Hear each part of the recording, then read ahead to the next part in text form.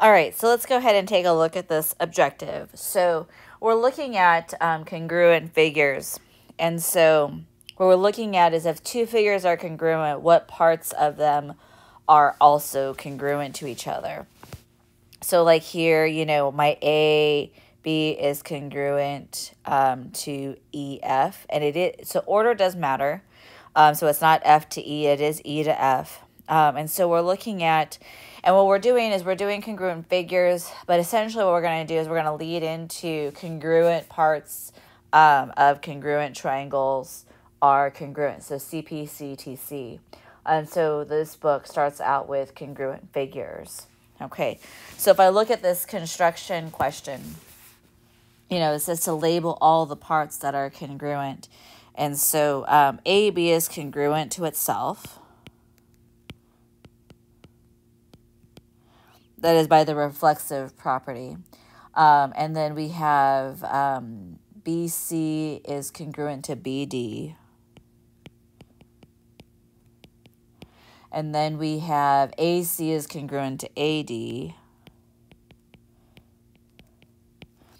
And then what else do we have? We have angle CAB is congruent to angle DAB. Um, angle C is congruent to angle D. And then we have angle ABC is congruent to angle ABD. Okay. Um, if we look at this one here, I don't know why there's a random dot. Um, get rid of that random dot in the middle of the thing here.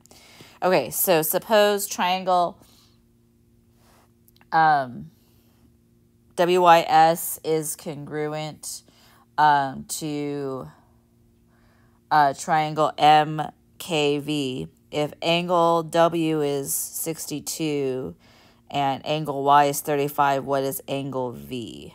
Okay, so um, what we've got here is triangle WYS is congruent to MKV.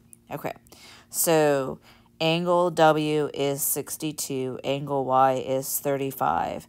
So, and then these two triangles are congruent. So that means that this is 62 and this is 35. And I want angle V. So 62 plus 35 is 97. And then I want 180. Oops, not minus 90. Minus 97.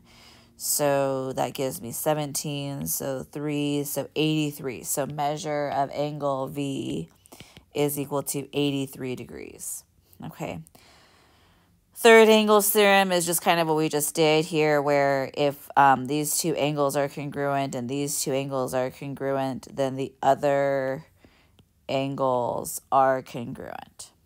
Okay, and that is it for this lesson.